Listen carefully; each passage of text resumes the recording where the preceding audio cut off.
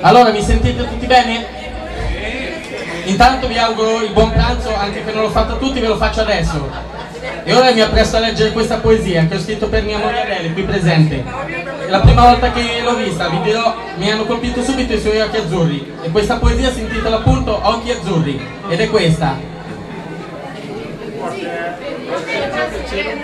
Vedo al mattino, appena sveglio, l'azzurro dei tuoi occhi, quando la campana del paese manda i suoi intocchi. E subito mi innamoro come un bambino, quando vede per la prima volta il mare da vicino. Così l'amore è diventato in breve realtà, ed ogni giorno era sempre più verità. Così ci siamo nel giro di poco fidanzati, e di lì a breve anche sposati. Oggi dentro di me, il mio cuore mi fa dire tante cose d'amore.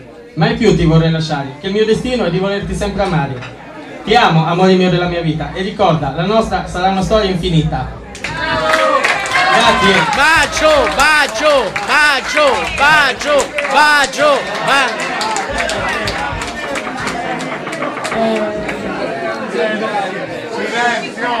Anch'io ringrazio il mio amore per questa bella poesia che mi ha dedicato. Ehm, di una, con una poesia che gli ho scritto io che si intitola Mi illumini. Silenzio fuori di pietra! Adesso proverò a alzare un po' il tono, però io ho la voce bassa. Il titolo si chiama Mi illumini.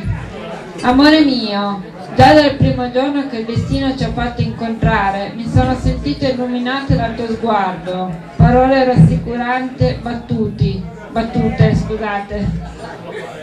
Ora, a distanza di quattro mesi che ci siamo sposati, tu con la tua semplicità e tanto amore che provi per me, continui senza stancarti ad illuminarmi il cuore di tante belle cose che fai per me.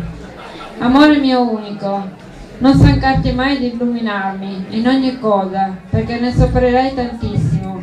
E da quando mi hai catturato il cuore con il tuo amore, io mi nutro ogni giorno della tua bella luce, che trasmette il tuo cuore.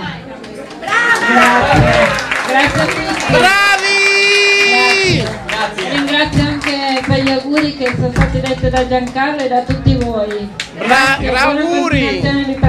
Auguri!